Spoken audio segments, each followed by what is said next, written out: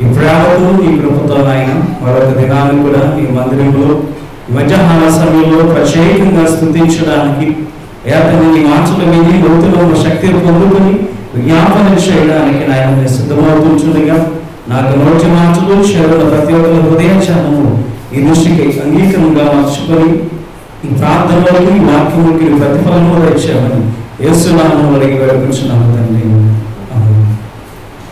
గడిచిన కొన్ని దినాలలో ఇక్కడ ఈ ప్రత్యేకమైన సమయంలో ఈ కోవిడ్ నైన్టీన్ విషయంలో మనము ప్రార్థన చేస్తూ దేవుని కృపను వచ్చి మనము ముందుకు వెళ్తూ ఉన్నాం. మరి ఈ దినాన్ని కూడా మరొక చిన్న వాక్య భాగాన్ని మన జ్ఞాపకం చేసుకొని ప్రార్థనలకు మనం ముందుకు వెళ్దాం. సమయాలు మొదటి గ్రంథము మొదటి అధ్యాయము. సమయాలు మొదటి గ్రంథము మొదటి అధ్యాయము. పదకొండవ ఆలోచన సగ చదువుకుందాం. సైన్యముల గణపతి యెహోవా నీ సేవకురాలైన నాకు కలిగి ఉన్న శ్రమను చూచి ఈ సేవకురాలైన నన్ను మరొక జ్ఞాపకం చేసుకొని ఈ మాటను మనం జ్ఞాపకం చేసుకుందాం. మాట్లాడుతున్న ఈ స్త్రీ మనకు బాగా పరిచయమైన ఆవిడ. హన్నా గారిని మనం అక్కడ జ్ఞాపకం చేసుకుంటున్నాం. హన్నా అనగా కృప కలిగిన అనే మాట మనకు అర్థం జ్ఞాపకం చేసుకుంటున్నాం. హన్నా అనగా కృప కలిగిన అనే మార్చని మనం చూస్తూ ఆమె అక్కడ ఆ సెలవు ప్రార్థనా మందిరంలో ఆమె ప్రార్థన చేస్తూ ఉంచిన ఆ సమయాన్ని మనం జ్ఞాపకం చేసుకుంటూ ఉంటున్నాం అశులకు ప్రార్థన ఆ మందిరం లేదా అక్కడ ఉంచిన ఆత్మీయత కూడా పాడైన పరిస్థితులు ఉన్నట్టుగా లేఖనాలు వచ్చి కూడా మనం అర్థమవుతూ ఉంటున్నాం. ఆ?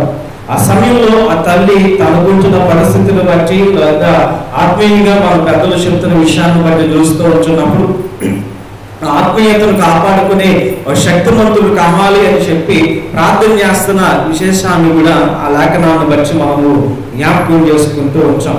దినాన్ని మరొక మాట కూడా మనం జ్ఞాపకం చేసుకుందాం. ఆ కీర్తనలో మనం చూస్తూ ఉంటాం పునాదులు పాడైపోగా నీతిమంతులు ఏం చేయగలరు? అనే మాట మనం చూస్తూ ఉంటాం. అంటే ఆ పునాదులు పాడైపోయినప్పుడు నీతిమంతులు ఏం చేయగలరు? దినాన్ని మనం కూడా అయ్యో ఈ కోవిడ్ నైన్టీన్ వచ్చిందంట అనేకమైన ప్రాంతాల్లో లాగా జబ్బుతో ఆ వ్యాధితో నిండిపోతున్నారంట. ఆ ఊర్లో కూడా వచ్చిందంట. ఈ పక్కపేటలో కూడా వచ్చిందంట. ఇక్కడ కూడా వచ్చిందంట అని చెబుతున్నావు కానీ నీవే చేయగలవు అనే మాటని ప్రభు దినాన్ని జ్ఞాపకం చేస్తున్నాను కదా? పునాదులు పాడైపోగా నీతిమంతులు ఏం చేయగలరు? ఏం చేస్తారు వాళ్ళు? దినాన్ని మరి నీవు కూడా దేవుని బిడ్డగా ఉన్నావు. చుట్టూ వైరస్ కమ్మింది మరి నువ్వేం చేయగలవు దేవుని బిడ్డగా అన్న కాముగా కూర్చోాల ఆమెకున్న సమస్యను బట్టి ఆమెకున్న ఇబ్బందిని బట్టి ఆమెకుంటున్న ఆ యొక్క అవమానకరమైన స్థితిని బట్టి ఆ దినాన్ని అయ్యో ఏమి చేయలేము ఇంకా? మన గాదులే మన వల్ల అవ్వదులే అని అనుకుని ఉంటే సమయం లాంటి ప్రవర్తని భూమి మీదకి వచ్చేవాడు కాదు. మనం చదువుకున్న ఈ సమయంలో రెండు గ్రంథాలు మనకి చేతికి వచ్చేవి కాదు. ఆయన రాకుండా ఉండుంటే సౌలు కానీ దానుడు లాంటి రాజులు మనకి కనిపించేవారు కాదు. ఈ దినాన్ని జ్ఞాపకం చేస్తూ ఉంటున్నాం దినాన్ని మనము కూడా ఈ ప్రాంతంలో ఉంచున్నాం. మనము కూడా దేవుడు కృపలో వర్ధిల్లుతూ ఉన్నాము. ఉంచినప్పుడు చుట్టూ ఉంచిన ఆ పరిస్థితులన్నీ అంటే పునాదులు పాడైపోయినప్పుడు నీతిమంతురాలుగా నీతిమంతుడుగా దేవుని బిడ్డలుగా మనం ఉన్నాము. మనం ఉండి ఏం చేయగలము అయ్యా వాళ్ళు సరిగ్గా లేరంట. వాళ్ళు శానిటైజర్ సరిగ్గా తీసుకోలేదంట. జాగ్రత్త లేదంట. ఇష్టం వచ్చినట్టు తిరిగారంట. ఎక్కడ పడితే అక్కడికి వెళ్ళి ఏదో పడితే నొప్పుకుంటూ ఉన్నారంట. శుభ్రత లేదట అని ఈ నోరుని ఇష్టం వచ్చినట్టుగా వాదనిస్తున్నామా? ఆ నోరు ఎక్కడ పనిచేస్తే మేలు కలుగుతాదో ఆ శివుడు మందుల దగ్గరికి వచ్చి ప్రార్థన చేయగలుగుతున్నామా? మనందరికీ తెలుసు పునాదులు పాడైపోయినంటే ఎవరు ఏం చేయలేరు. ప్రభుత్వం కూడా చెప్తున్నాయా మేమేమి చేయలేము. మరి నువ్వు ఉన్నావు దేవుడు నిన్ను ఇంకా జీవనంలో ఉంచావు ఇంకా నీకు ఆ రోగ రాకుండా ఉంచావు కనుక నీవేం చేయగలుగుతున్నావు. అధికారులు ఉన్న విశ్వాసంతో ప్రార్థన చేసింది. విశ్వాసంతో విజ్ఞాపన చేసినప్పుడు వేరు పొందుకున్న స్థితిని మనం చూస్తూ వచ్చినాం. శలోకు అనగా సమాధానాన్ని తెచ్చిపెట్టేది అని మరి దినాన్ని సమాధానాన్ని కాదు మనకి ఆరోగ్యాన్ని కూడా తెచ్చిపెట్టి ఈ మందిరానికి వచ్చి ప్రార్థన చేయగలుగుతున్నామా? దేవుడు మనల్ని ఇంకా ఉంచినప్పుడు ఆ దినాన్ని హన్నాకున్న ఇబ్బందులు బట్టి లేకపోతే లేదు ఏందో లేదు. ప్రాప్త లేకపోతే మనకేంటి నేను ఉంటే దేవుడికి ఇవ్వాలా? ఇవ్వకపోతే నాకు నష్టం ఏంటి అని అనుకోకుండా నేను ఉన్నాను. రక్త మాంసం కలిగిన స్త్రీగా నేను ఇంకా బ్రతికే ఉన్నాను. ఇదిగో నేను ఇది చేస్తా అని విశ్వాసంతో వచ్చి ప్రార్థన చేస్తున్నప్పుడు దేవుడు దీవించిన విధానాన్ని మనం చూస్తూ ఉంచుతాం అందుకే ఆమె చెప్తున్న మాటను మనం చూస్తూ ఉంచున్నాం కదా. సైన్యముల అధిపతి యెహోవా ఈ శాపగ్రామంలో అయిన నాకు కలిగిన కదా ఏం చూచంట శ్రమను చూచి. అయ్యా నాకు కలిగిన శ్రమను చూసి అయ్యా అంటూ ఆమె విజ్ఞాపన మొదలుపెట్టిన విధానాన్ని మనం చూస్తూ వచ్చినాం మరి దినాన్ని మనకి కలగలేదా శ్రమ. మనం ఎందుకు మౌనంగా ఉంటున్నాం? మనం ఎందుకు మౌనంగా ఉండాలి? ఇంకే కీర్తనకాడు మార్చం కూడా జ్ఞాపకం చేస్తున్నాను పునాదులు పాడైపోగా నీతిమంతులు ఏం చేస్తున్నారు? మీరందరూ విశ్వాసలే కదా? మీరందరూ ప్రార్థనా పనులే కదా? మీరందరూ కూడా దేవుని పెట్టలే కదా? విషయము ప్రార్థనలు ఉపవాసాలు వాక్య జ్ఞానంలో ముందుకు సాగుతున్న వాళ్ళని చెప్తున్నావు. మరి ఉన్నావు ఏం చేస్తున్నావు నేను అందరిలాగా ఇంట్లోనే కూర్చున్నాను. నాకే ఎవరు చేయలేనప్పుడు నాకేంటి? ఈ ప్రార్థనలు చేయడానికి ముఖ్య ఉద్దేశం ఏంటంటే ఇదే. మరి అందరూ ఉన్నప్పుడు నువ్వు ఉన్నావు మరి నువ్వేం చేస్తున్నావు? నిన్ను లోకంలోకి వెలుగుగా పెట్టారు. లోకంలోకి ఉప్పని చెప్పారు అయ్యో ఉన్న ప్రదేశంలో నా దేవిస్థానం దేవుడు ఆశీర్వదించాక నిన్ను పెడితే మరి నువ్వు ఆశీర్వాదానికి కరెక్ట్గా ఉండాలా? అందరితో పాటు అదే రోగం వస్తుందని భయపడుతూ ఉంటాను దేవుడు మన మీద పెట్టుకున్న నమ్మకాన్ని దేవుడు మనకి ఇచ్చిన ఆశీర్వాదాన్ని మనం ఏం చేస్తున్నాం?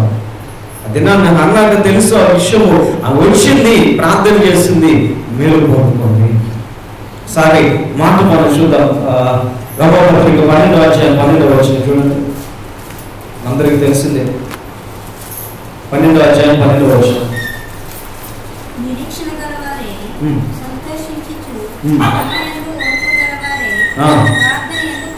ప్రార్థన ఎందు పట్టుదల కలగలిగింది మనకి అనేకమైన విషయాల్లో పట్టుదల ఎక్కువ.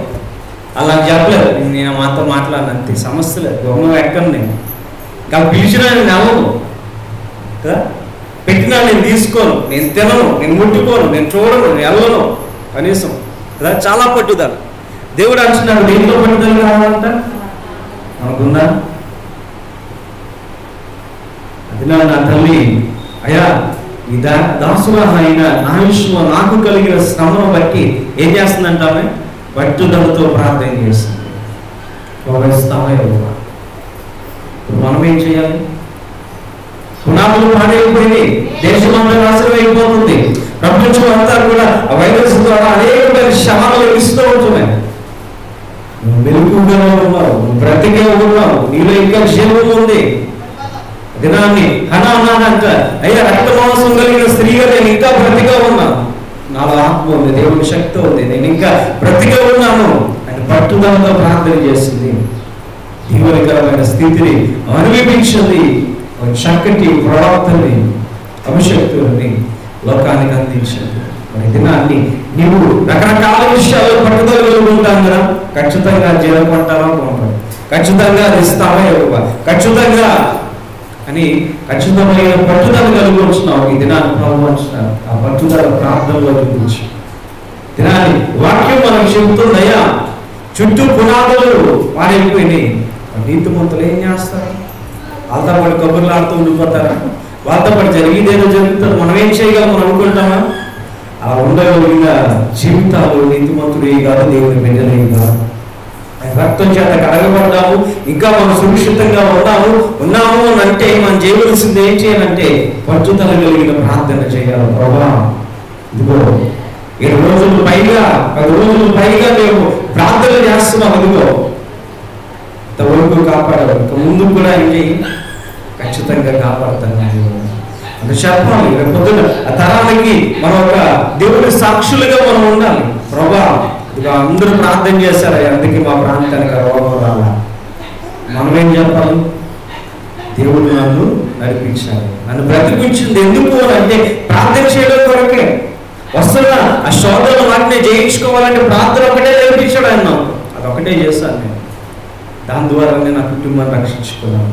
దాని ద్వారా నా ప్రాంతాన్ని రక్షించుకున్నాను. ఆ ప్రార్థన ద్వారా నేను ఇంత ఆశీర్వాదాన్ని నేను పొందుకున్నాను అని చెప్పగలిగిన జీవితాలు మనం కలిగి ఉండాలి ఆ సాక్షాత్కరమైన బ్రతుకు కొరకు మనము ఏం చేయాలి? ఖచ్చితంగా ప్రార్థన చేయాలి. అందుకే మరలా జ్ఞాపకం చేస్తున్నా పునాదులు నాశనం అయిపోతే పాడైపోతాయి. నువ్వేం చేస్తున్నావు? స్త్రీవే. అక్కడ అన్నా కూడా స్త్రీయే. ఉన్న మనము మనుషులమే ఆవిడ మనిషే. ఆవిడ ప్రార్థన చేసి పొందుకుంది. ప్రార్థన చేసి ఆ తరంలో ఒక గొప్ప వ్యక్తిని సంపాదించుకుంది. మనము మనం ప్రార్థన చేసి ఈ తరంలో ఈ వ్యాధి నుంచి దూరం కాదు అది మనం తాకనివ్వకుండా మన ప్రాంతాన్ని కదా తాకనివ్వకుండా ప్రార్థన పట్టుదల కలిగిన ప్రార్థన మనం చేయలేమా? దేవుడు అయ్యా జై ఈ ప్రార్థనలన్నీ సఫలం చేస్తాను ఒక విశ్వాసంతో ప్రార్థన చేద్దాం ఈ దినాన్ని ప్రభావ అన్నా చేసింది ఇక్కడ నేను కూడా చేస్తున్నాను నేను స్త్రీనే లేకపోతే నేను రక్త మాంసం కలిగిన వ్యక్తినే. నాకు కూడా ఇంకా చేయకపోతే నేను ఇంకా చచ్చిపోవాలి. నేను ఉన్నాను బ్రతుకున్న మనము నిత్యులు ప్రభుతో మాట్లాడుతూ ఉండవలసిన బాధ్యత కనుక అయ్యా నాకు మరలా జ్ఞాపకం వచ్చింది. ఆ బాధ్యత నాకు గుర్తొస్తుంది. ఆ ప్రాంతం వరకు నేను ప్రార్థన చేస్తున్నాను. ఆ ప్రార్థన అంగీకరించుకోవాలి నీతిమంతులుగా నీతిమంతులుగా ఆశీర్వాదాలకు కర్తలుగా దీవులకరమైన స్థితిని మాకు ఇచ్చావు. ఎందుకు అంటే ప్రార్థించే వరకే ఇది చేస్తున్నాం. ప్రార్థన అంగీకరించు అని జ్ఞాపకం చేద్దాం. దేవుడు ఖచ్చితంగా మనకి ప్రార్థన అంగీకరించి ఆశీర్వదించి మేలుకరమైన స్థితిని మనకు అనుగ్రహించిన తల ఉంచుకుందాం ప్రార్థన చేసుకుందాం. మాట ఉన్న వాక్యాలను ప్రార్థన చేసుకుందాం. విజ్ఞాపనలో మనం ప్రవేశిద్దాం. ఒక నిజమే హనా తన స్త్రీ నష్టోడ ఇబ్బంది సమస్యను బట్టి చివరకు తన ప్రార్థన నుండి దానికి ఇచ్చేది ప్రభావ సమాధానాన్ని ఇచ్చే దేవుడు కనుక ఆ సమాధానాన్ని పొందుకునే స్థలానికి వెళ్ళి గొప్ప దేవుడు అనుకుని తాము దినాన్ని ఏ కూడా అలాంటి ఉండాలని ఉండాలి